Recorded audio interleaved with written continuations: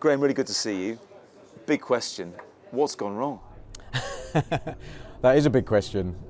It's very difficult because the margins are so fine at that level that you can you have to start really analysing in detail you know what what happened in particular games the good things as well as the bad things and and I think that the you know what separated us against Italy and Uruguay was the quality of individuals so Pirlo um, Balotelli obviously in, in the Italy game and our friend Luis Suarez um, in in the game um, against Uruguay is there something in England's national psyche that prevents us from going for it at the World Cup? Because we've seen with Holland in the World Cup, they've overcome some hurdles and they've gone for it. Uruguay clearly were hungrier, and plenty of other teams are doing the same thing. What is it about England that stops us from doing that? Well, there's definitely a sense of inhibition, isn't there? That we're, we're not quite um, able to, to convert our, our energy, our enthusiasm, our individual ability into sort of consistent results there's probably many reasons for that. I think there's there's the weight of history. There's the, the way we look at it, the prism that we as England fans look at things. We have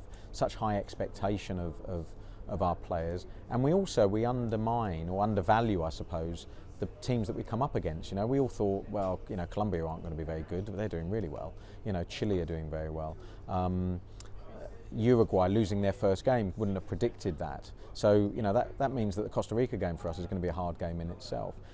Talking about the mentality, in Germany, their captain Philipp Lahm is revered because he's described as being one of the most intelligent players. Mm. He's intelligent off the pitch as well as on it. It's something you were berated for almost, being intelligent and reading The Guardian, the rest of it when you were, you were playing. Is there enough of that in England and in the England squad? Well, it's a very good question, and I, I feel that certainly, you know, you don't need to judge people on their academic intelligence, but what you do need to do is look at players as students and do we have the ability to learn? And therefore, are we able to learn how to make the right decisions? Football is so much about, at that level, is all about decision making, making the right decision, seeing the picture, and, and making the right decision. Do you think this group of and, players has that ability? Well, given, given what we've seen, we didn't manage the game as well as our opponents in either match. Um, we made some critical decisions that were the wrong decisions. Um, and if, particularly in the Italy game, where you know the, the, the left side of the pitch was very vulnerable um, in, in the first half, what did we do at half time to, to deal with that? Because in the second half, not a lot changed. Can Roy Hodgson still learn? Because he, he, he really isn't one of the big stars of the, the management circuit, is he? Unlike Van and Prandelli and and Big Phil Scolari. He's not that kind of big character that maybe England needs. Well, from my point of view, he's absolutely the right man for the for the job. He's got a wealth of experience. You know, he's, he's managed in, in all over Europe. Um, you know, national teams, club sides. Um, had a lot of experience in England as well. Um, and I think the way he has helped develop this group of players.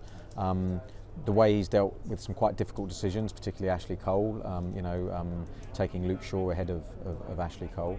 Um, I think all of those decisions are, um, are, made by a person that, that is, you know, has complete conviction in his, his thoughts. Lots to be positive about. Um, we, we gave a, we played, played well in two matches, but we just didn't quite play well enough.